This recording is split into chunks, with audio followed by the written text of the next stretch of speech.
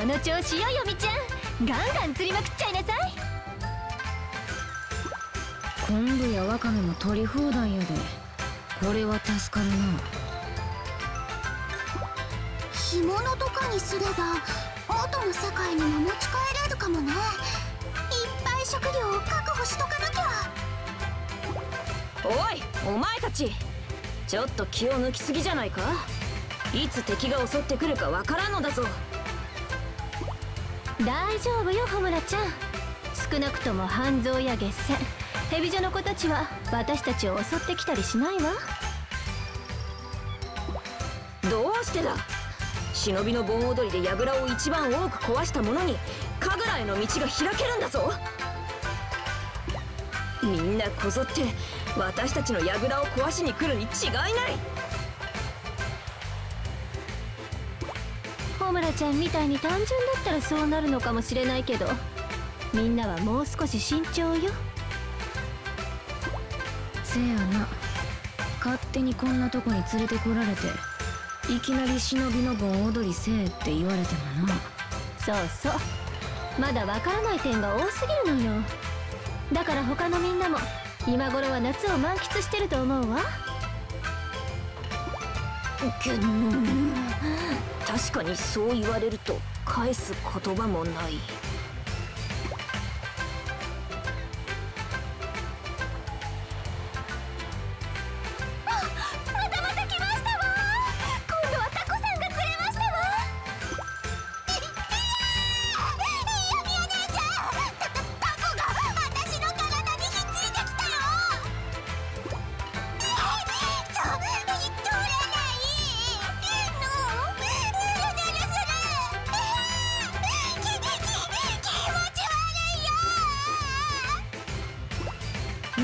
いよ未来がタコと一緒にタコ踊りしとるで。楽しそうやな。この島は食材の宝庫ですわ。ここでならずっとひもじい思いをしなくて済みます私一生暮らしてもいいかもしれません。ささすがに一生は嫌よ。でも今はヨミちゃんみたいに楽しむのが正解だと思うわああそうかもしれないな。あ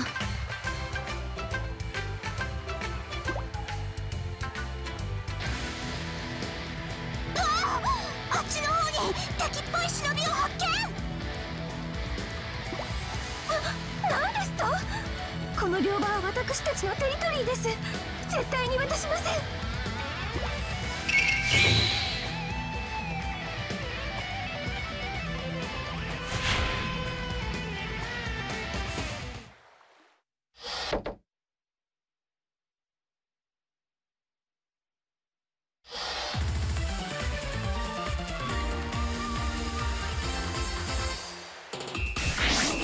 読み毎順次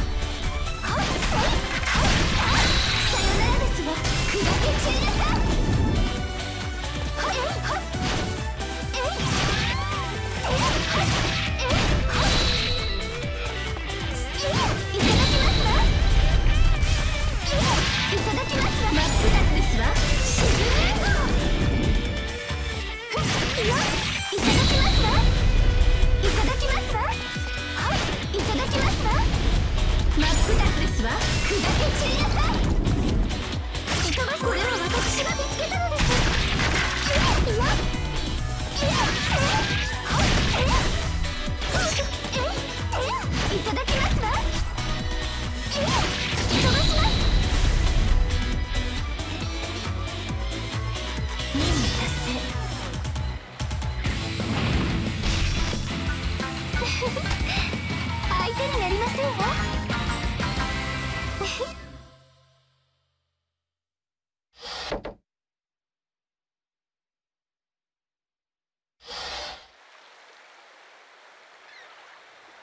なんとかこの両場は守れましたね。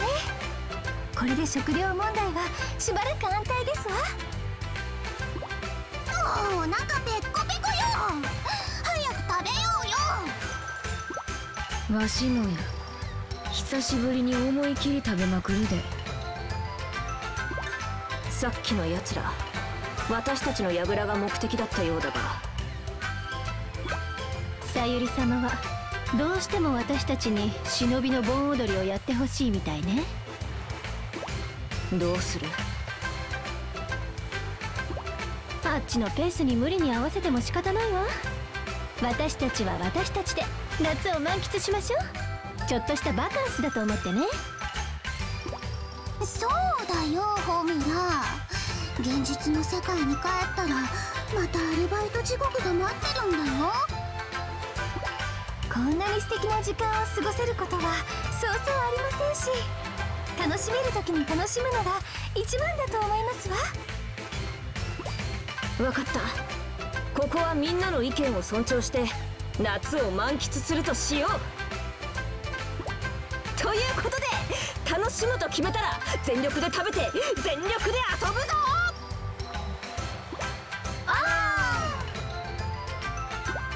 やれやれ少しつついたら乗ってくるかとも期待したが抜け人のホムラ5連隊までもが平和ボケしとるとはの。